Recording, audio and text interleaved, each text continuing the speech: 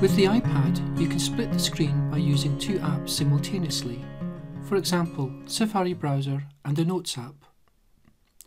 This can be helpful for reading or revising and writing at the same time. You can use any word editing app, but I will use the Notes app. Now, using your finger, flick upwards from the bottom of the iPad to reveal the docking bar.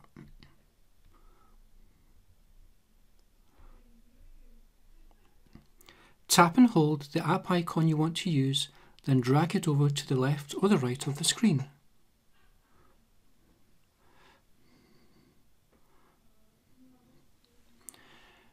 Remember to use Reader View to increase the font size.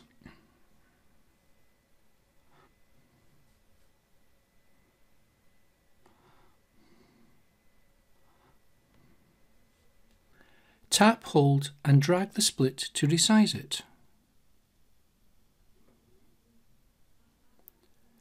Tap, hold and drag the split to remove it.